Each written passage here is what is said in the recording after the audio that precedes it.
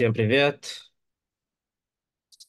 Снова мы, команда RPG.com. Со мной сегодня Валера, э, наш контент-стратегист. И будем сегодня обсуждать главную фотографию, которая э, недостаточно о ней разговариваем, поэтому мы решили ее так э, глубоко э, прыгнуть и проанализировать все, что надо знать, э, самые лучшие практики, э, про A-B-тестирование будем разговаривать. И вообще, я надеюсь, что в конце этого лайва вы э, поймете, что надо более серьезно относиться к главной фотографии. И также у нас э, классное предложение в конце, так что стойте с нами. Э, Валера, привет. Ты да, готов? всем привет. Да, а, мы можем начинать. Ну, полетели. А, да, как озвучил Гай тему а, сегодняшнего эфира, это заглавная картинка на Амазоне. Разберем а, лучшие практики, подходы а, к тому, как это все делать. Итак, почему заглавная картинка она настолько важна? А, заглавная картинка – это то, что, наверное, первое с того, что видит наш потенциальный покупатель с поисковой выдачи, когда он ищет товар на площадке. А, второй момент – заглавная картинка – один из ключевых факторов для того, чтобы на наш листинг кликнули. Да, у нас есть цена, у нас есть отзывы, но согласитесь, что менять цену каждый день или, в принципе, как-либо менять цену, мы говорим, скорее всего, об удешевлении товара, не все могут. И в любом случае придет рано или поздно тот момент, когда ну, с ценой вы сильно не поиграете, и это то, та цена, с которой вы будете продавать все время. Разве что повышать.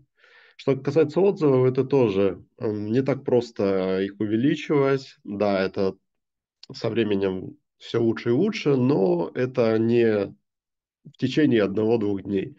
А что касается заглавной картинки, которая в совокупности здесь является одним из ключевых факторов, а, ее можно менять, ну, хотите каждый день. Ну, конечно, вам сложно будет тестировать, это все не рекомендуется так делать, но не отменяет того факта, что такая возможность есть. Вы можете менять ее часто, в общем, и, и этим самым менять свои продажи значительно. А, ну, отсюда вывод, что это самый, наверное, легкий инструмент, которым можно манипулировать на Amazon для того, чтобы получать трафик. Итак, какие же есть основные методы э, манипуляции заглавной картинкой для того, чтобы привлечь дополнительный трафик и улучшить свою конверсию?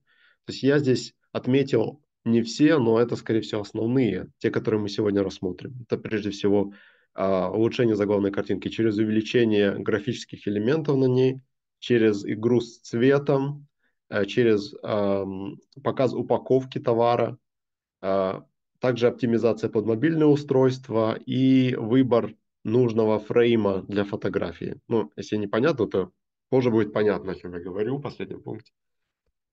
Первое, это, наверное, самое очевидное, можно увеличить э, графические элементы, и тем самым картинка будет восприниматься легче, она будет выделяться. То есть вот мы видим пример с трубочками. Есть какие-то трубочки, э, мы видим поисковую выдачу, мы видим, как наши конкуренты показывают эти трубочки, они вот берут вот много, э, и ну, в этом ряду видно, что вот этот конкурент, этот, этот, они в принципе похожи. Да, цвета там отличаются, расстановка, но когда мы смотрим в общем на картинку, то, что схватил наш взгляд, это вот совокупность каких-то трубочек. И нам нужно как-то выделиться. То есть что, что сделал вот этот конкурент? Допустим, они решили увеличить свои трубочки, показать их более крупно. Эта картинка, согласитесь, она выделяется в этом ряду. Так? Плюс ко всему у них есть здесь какая-то необычная форма. И вот этим они тоже это подчеркивают. То есть какой мы можем сделать вывод? Прежде всего, э, за счет вот такой игры мы можем э, выделить нашу заглавную картинку в поисковой выдаче и даже подчеркнуть какие-то особенности нашего товара. Э, соответственно, если бы у нас были конкуренты, которые показывали бы только вот так вот, ну тогда нам бы имел смысл показать, может быть, вот так вот, если бы у нас были какие-то обычные трубочки. То есть нужно играть на контрасте. По сути, игра на контрасте э, это есть основа того, как оптимизировать заглавные картинки. Плюс показ своих конкурентных преимуществ, говоря своей целевой аудитории, конечно же. Второе – это контраст за счет цвета. То есть, допустим, есть пример – мы видим ряд картинок. Здесь три черных банки. Одна ну, красная, но тоже с черными элементами. И вот есть конкурент, которого такая более белая, светлая. Ну да, здесь синяя, но тем не менее, она выделяется. А, здесь важно, что когда мы говорим о таких решениях, нужно эм, всегда быть в связи с своей целевой аудиторией. То есть, если ваша целевая аудитория воспринимает, например, розовый цвет, вы точно понимаете, что этот цвет хорош, вы можете его использовать. Но разумеется, что делать, брать какой-то цвет э, в случайном порядке, не понимая, кого вы это продаете, чисто для того, чтобы выделиться, это тоже не лучший способ. Потому что если вы какой-то товар продаете используете розовый цвет, а окажется, что ваша целевая аудитория этот цвет не воспринимает, то несмотря на то, что вы выделяетесь, вы все равно будете терять трафик из-за того, что вас не кликают по этим причинам. Поэтому всегда нужно учитывать интересы своей целевой аудитории и не забывать об этом ни в коем случае. А, третье – это показ упаковки. А, например, мы видим ножницы, а мы что видим у конкурентов? Просто ножницы на белом фоне. Кто-то вот решил выделиться таким способом. Допустим, поместил это на розовый. Но для политик Амазона... Да. да, для политик Амазона это не очень хорошо, потому что не разрешается. И, возможно, они продолжат их продавать, а возможно, завтра Amazon попросит это убрать. Но то, что можно 100%, это показать упаковку. Вот, допустим, у этого конкурента, у этого продавца есть упаковка, на ней можно четко прочитать, что это сделано в Японии. Возможно, это одно из конкурентных преимуществ, с помощью которого этот товар продается. Я точности не знаю, но мы можем это предположить. По крайней мере, будучи каким-то потенциальным покупателем, мы бы прочли именно это. Соответственно, что мы еще можем, какой вывод мы можем с этого сделать? То есть упаковка это какое-то цветное пятно на нашей картинке.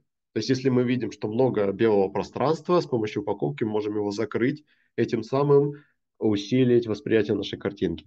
Второй момент, на упаковке мы пишем тексты. Упаковка – это, скажем так, легальное место, на котором можно писать тексты. Если вы напишете тексты просто на белом фоне на заглавной картинке, Amazon это не, не пропустит, как говорится, не разрешит вам это и забанит вашу картинку, потому что политики Amazon гласят так, что заглавная картинка должна быть на белом фоне, на ней должен быть изображен только товар, максимум его упаковка, без посторонних графических элементов и текстов. И это Но... моя любимая тема, между прочим, э, ставить текст на, на, на, на коробку. Это я называю это psychological inception. То есть это психологическом просто делать инсепцию э, в голову человека, когда э, мы ставим какой-то главный keyword э, с высоким э, search volume прямо на коробке. То есть он там смотрит какие-то, например, э, small scissors. И вот он видит вдруг продукт, на нем на коробке написано small scissors. Первая интонация это, это, это, ой, блин, я нашел то, что я искал, это называется, э, ну, маркетинг такой есть, это не только на Амазоне, но это такая практика, которую вы тоже можете запросто делать. Да, э, именно это имеется в виду. Что вы можете писать ключевые слова, ваши преимущества на вашей упаковке, и Amazon это пропускает, потому что это ваша упаковка, это часть а, того, что вы доставляете вашему клиенту, и это все можно. И этим нужно пользоваться, разумеется. Второй момент, предположим, вот вы сделали какую-то упаковку, и вы хотите ее показать на заглавной картинке, но и уже весь товар на Амазоне. Вот, вот в таком виде вот эта упаковка. Но вам вдруг пришла в голову идея, что, возможно, вот какой-то текст вот недостаточно читаем. Вот, допустим, мы видим вот эту упаковку сейчас на картинке. Здесь вот Made in э, Japan написано крупно, а вот остальной текст он как-то не читается. Принципе, ничего плохого нету, если вы немного этот текст увеличите в графическом редакторе. Несмотря на то, что в реальности этот текст меньше. Для Амазона это не так важно, потому что упаковка, ну, она 90 плюс процентов та же самая. Но за счет увеличения вот этих текстов вы можете повысить читаемость. То есть я имею в виду что? Допускается какая-то правка упаковки, несмотря на то, что в реальности она другая, если вот эти правки, они не сильно меняют ее вид, если это не искажает как-то. И плюс ко всему, упаковка это то, в чем просто приезжает товар, люди это достали, используют. Упаковка зачастую ну, не нужна людям. Они просто ее получили, посмотрели, дальше она либо лежит, либо ее выбрасывают. Поэтому ваши покупатели, они не будут вам оставлять негативные отзывы, или как так, если вы допустим, э, доставите упаковку с текстом меньшим, чем это было, допустим, на заглавной картинке. Но опять же, если это в рамках разумного.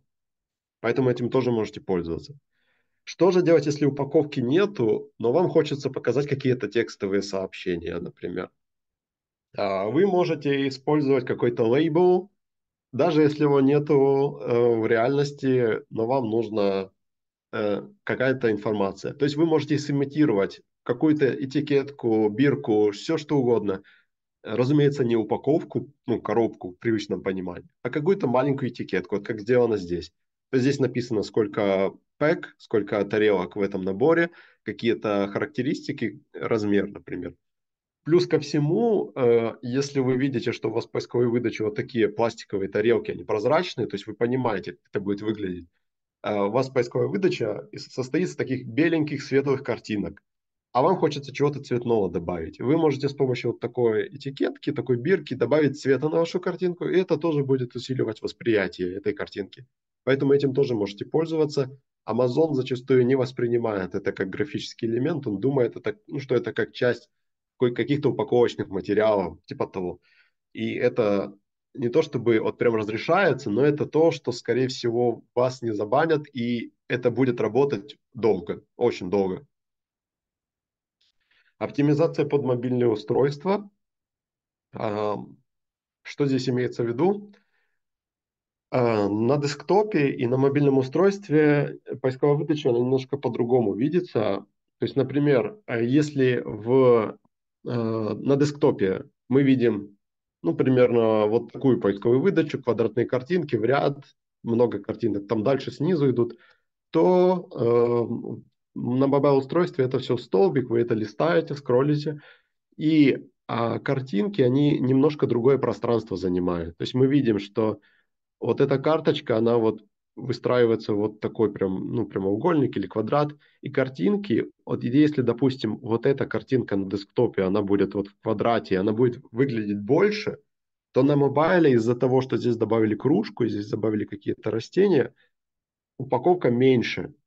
Я не то чтобы хочу сказать, что нужно обязательно показывать эту упаковку без кружки, но вы должны учитывать, что будет так. И если вас, допустим, устраивает такой вариант, и вы считаете, что вот эта картинка работает лучше, вы можете ее тестировать. Но вы должны понимать, что на, на mobile-устройстве вот эти элементы, которые нормально смотрятся на десктопе, на mobile е они будут уменьшать картинку. И вы должны это тоже держать в голове. Если для вас mobile это приоритет, то, возможно, вот такие графические элементы э, сбоку вам не подойдут, особенно если вы хотите, чтобы текст на вашей коробке читался, на вашей упаковке читался. То есть мы видим, что вот эта упаковка и вот это, фактически, это они могли бы быть одинаковыми, если бы не было вот этой кружки. Но из-за того, что она есть, вот это меньше, чем вот это. Это тоже важно. И что касается фрейма, это последний, наверное, пункт из основных. На Амазоне э, зачастую э, фрейм это по сути соотношение а, высоты и длины картинки. Зачастую это квадрат, то есть один к одному. Но есть случаи, когда Amazon, например, использует прямоугольные фреймы. То есть это для одежды прежде всего актуально. То есть там э, картинки, они очень высокие, ну, по высоте, но то есть там где-то, ну, не знаю, 2 к 3, где-то вот так вот соотношение. И, а вам нужно сделать ваши ваш товар на картинке максимально большим. Вы пытаетесь заполнить этот фрейм, вот это допустимое белое пространство, допустим, здесь вот это квадрат, вы пытаетесь заполнить его максимально. И вам нужно проверять свою категорию, смотреть, какие картинки э, используются в поисковой выдаче. Если это квадратные картинки, вы вписываете товар в квадрат. Если это прямоугольное, то вы вписываете прямоугольник, пытаясь заполнить максимально пространство. Вот на примере этого рюкзака, что мы видим? А, вот здесь рюкзак показан, ну, просто крупно, а здесь решили показать вид сзади. То есть, в принципе, он ничего не добавляет нового, потому что всем понятно, что э, как выглядит рюкзак сзади. Здесь тоже ничего особенного нет. Но из-за того, что это было показано, допустим, э, рюкзак уменьшился в размере. И то есть мы видим, что вот здесь вот пространство, здесь пространство, а здесь вот большой рюкзак. И это именно из-за этого в том числе. Опять же, не хочу сказать, что вот эта картинка плохая, она не работает. Она может, но это, но это может влиять на трафик. Это может сказываться на том, что э, на ваш товар меньше кликают. Может сказаться, может нет. В зависимости от того, что вы продаете, но вы должны понимать, что это тоже фактор, и с этим тоже можно работать. А, касаемо АБ-тестирования, как делать АБ-тестирование, у нас был эфир э, по АБ-тестированию, вы можете посмотреть его в том числе. Э, есть записи на YouTube. Э, АБ-тестирование. Amazon не позволяет вам делать АБ-тестирование а в 100% случаев. Допустим, кто не может делать АБ-тестирование? Прежде всего, те, у кого недостаточно трафика. Для того, чтобы сделать качественный АБ-тест, у вас должно быть какое-то минимальное количество трафика на этом листинге. Amazon, например, говорит, что это должно быть 700 а, page views, то есть просмотра вашей страницы за последние 30 дней. То есть вы понимаете, что если вы вчера только запустили товар, и, скорее всего, у вас не будет трафика, ну, даже если он будет, у вас не будет истории, и Amazon не сможет еще зафиксировать это и позволить вам делать АБ-тест. Поэтому для тех, кто может а, делать АБ-тест в Амазоне, у кого есть трафик, вы делаете это там. Опять же, посмотрите наш предыдущий, один из предыдущих эфиров, там мы это рассказывали. То, те, кто не может делать, есть платформы типа Pigfu, тоже мы об этом достаточно детально рассказывали в одном из предыдущих наших эфиров. Э, если у вас недостаточно трафика, вы можете делать тест там. Да, это не совсем полноценный АБ-тест, и там есть свои нюансы, но это лучше, чем не делать ничего и просто в хаотичном порядке перебирать картинки. Это тоже не совсем правильный вариант. А, а ставить одну за другой, это тоже не совсем правильный АБ-тест, потому что у вас может меняться сезонность, а, могут повлиять какие-то другие факторы. Например, у вашего конкурента закончился сток, к вам пришел, пришли дополнительные продажи. То есть, чтобы объективно оценивать картину, вам нужно тестировать именно одновременно. То есть полноценный АБ-тест, когда две опции предлагаются определенному количеству аудиторию одновременно. И это то, что вы должны делать э, с помощью инструмента в Amazon. А что касается аналитики, то в Амазоне тоже это все есть. Разумеется, если есть АБ-тест, то есть аналитика.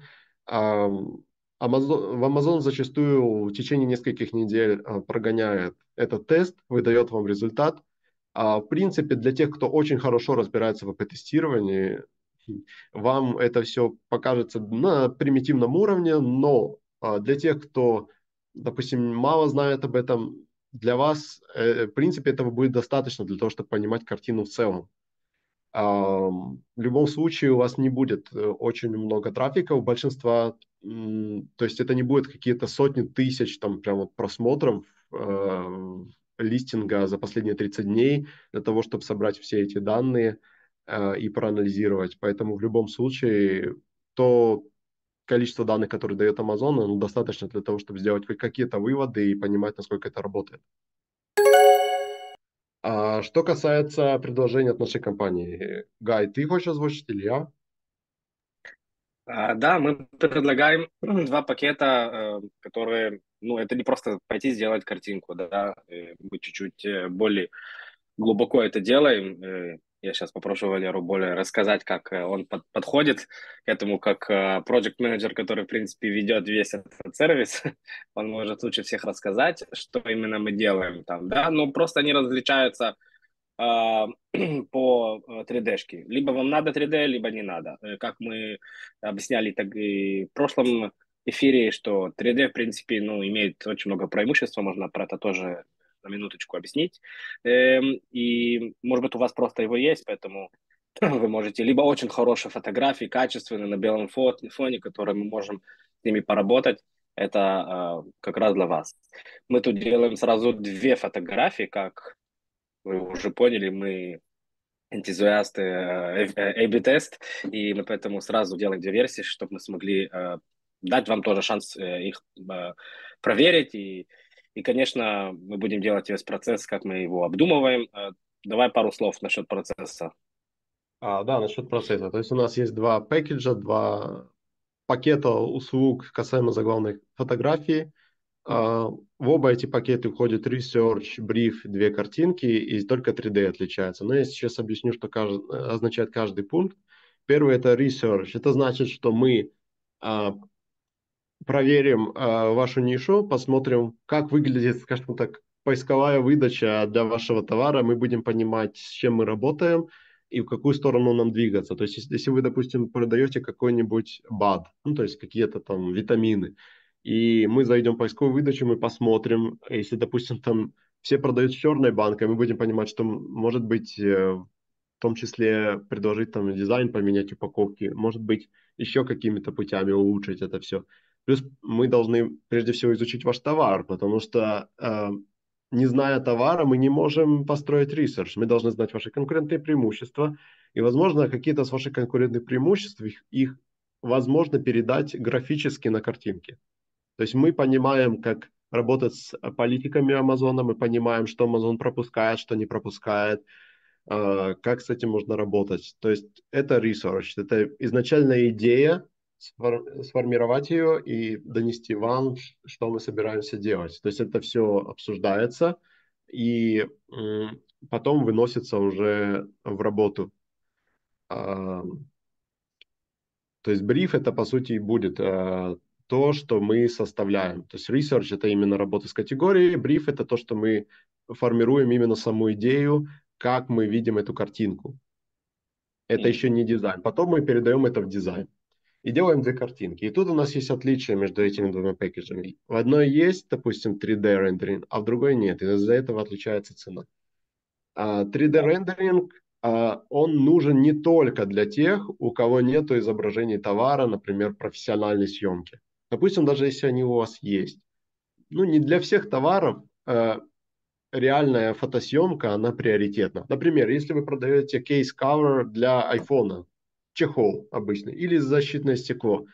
Сфотографировать это можно, это будет, наверное, выглядеть ну, вполне нормально, но 3D в этом случае лучше, потому что такие, такие, такого рода аксессуары, их нужно прямо до идеала довести, наверное. А 3D очень хорошо справляется с тем, чтобы доводить товар, скажем так, до идеального состояния и даже сверх того. Э, этим 3D как бы и плюс, и минус, потому что иногда для каких-то товаров нужна реалистичность, а для каких-то нет. А, плюс 3D еще в чем? Что мы, создав 3D-модель, мы можем а, получать а, изображение товара абсолютно под любым углом. Это значит, что мы, собирая заглавную картинку, создавая ее, мы можем выбрать именно тот ракурс, который нам нужен в данный момент. Зачастую в точности, какой ракурс нам нужен, мы понимаем только в ходе работы. Ну, это логично, потому что то, что есть в голове, то, что есть на бумаге, и когда вы это начинаете реализовывать, вы видите, что где-то вот лучше тут чуть-чуть повернуть больше или меньше, или по посмотреть на этот товар с более высокого ракурса, ну, с, с высоты.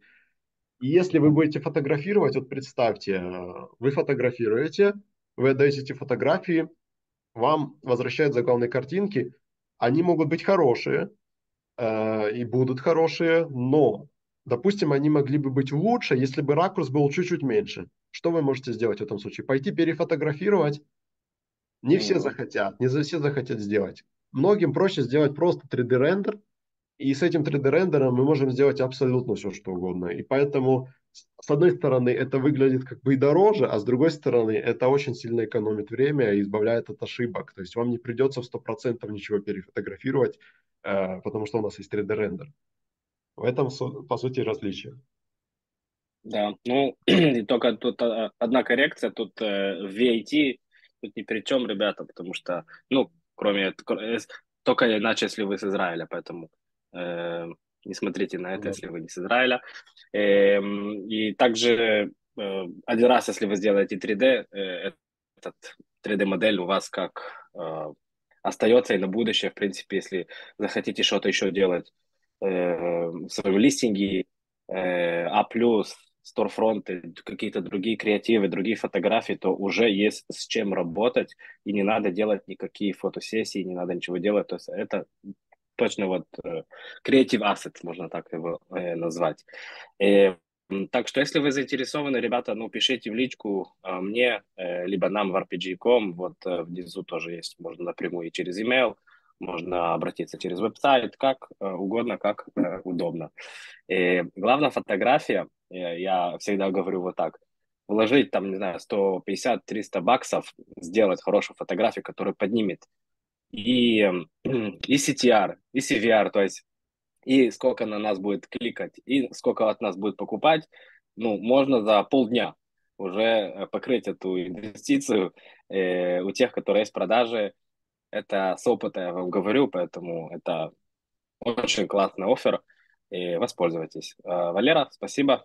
Да, До следующего спасибо. раза.